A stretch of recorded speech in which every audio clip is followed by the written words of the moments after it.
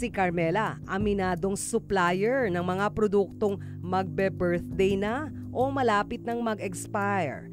Kung minsan, kahit expired na, ay ibinebenta pa rin niya. O yung mga yan tinatawag na birthday na, hindi naman ako takot ipakain sa mga anak ko yan kami, kumakain din.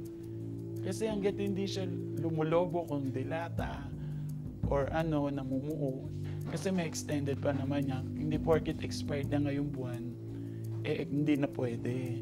Sa BIPAD kasi meron pa yung mga extended na 3 months or 6 months pa. Kaya nakakain pa rin namin. Silip Bodega ang tawag sa pag-iikot ni Carmela sa mga warehouse para kumuha ng produktong magbe-birthday na. May mga ahente raw siya, mga taong nagtatrabaho sa bodega na pagmamay-ari ng mga negosyanteng dahyuhan. Sasama ka nila sa isang bodega. Marami ng paninda ron. Magsasawa ka. Mga good and bad, makakakuha ka ron. Mga good and bad, pwedeng hindi expired, pwedeng expired.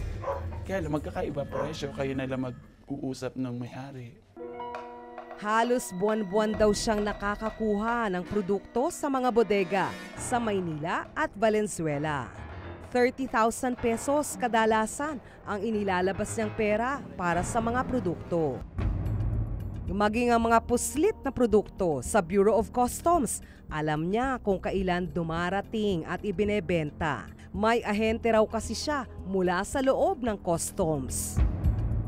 Kapag naibenta, doble o triple ang balik sa kanyang kapital. Kukunin ko siya ng 25 per kilo, pinapasa kong 50. Di kalahati. Pag umakot ako ng, nagbayad ako ng 10,000, pag pinasa ko na yan sa palengke, 20,000 na yun. Ang mga tindera sa palengke na mismo ang nagre-repack ng mga produkto.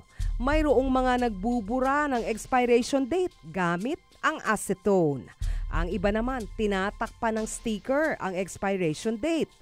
Ayon kay Martin, mister ni Carmela, may iba pang paraan para maitago ang expiration date. Sakaling hindi ito mabura, inililipat na lang ng lalagyan ang mga ito para magmukhang bago.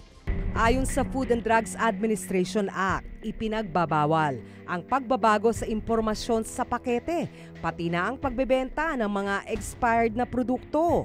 Pagmumultahin ang hindi bababa sa 50,000 piso at maaring makulong ng mula isa hanggang 10 taon ang sino mang lalabag dito. Sanay na rin ako.